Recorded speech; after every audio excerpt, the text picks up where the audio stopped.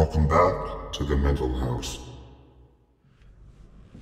Hello, Maison Haffie here. How you doing?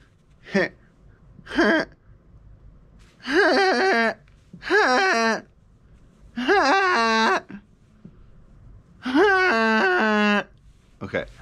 so today I'm gonna be uh, doing a little slam poetry, a little spoken word, a little slam poetry. I love spoken word. So it's called Tactic by me, Maison Haffie. So it seems her tactic was not all he thought. Just a cop sitting back and watching a man be devoured by his thoughts. She knew he would crack eventually, so she sat back and waited for him to confess.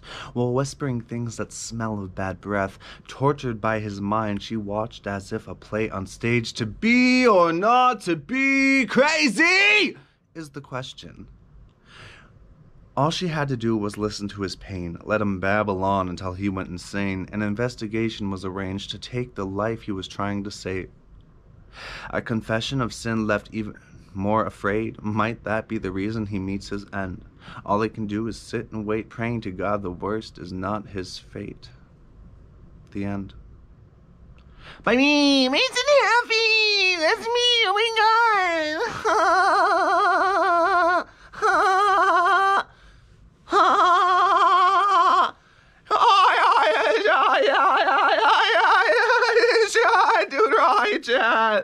Okay, so yeah, don't forget to like, comment, share, and subscribe, and click the little bell icon to get notified every single time I upload a new video. Thank you so much for watching, and bye.